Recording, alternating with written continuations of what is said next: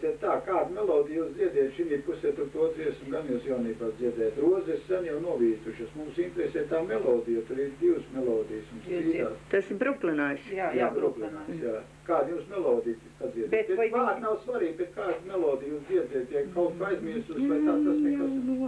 novītušas, nav no rūdens audzētās, īsu brīdi ziedējušas,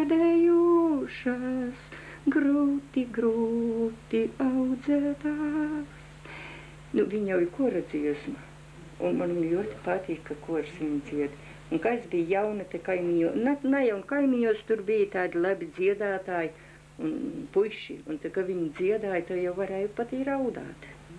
Jā. Un jūs tikai esat dzirdējis ar šo melodiju, kad dzied, ja citā melodija. Tikai ar šo, jā? Šī, šī pusē šito. Tikai ar šo, jā. Jā, jā.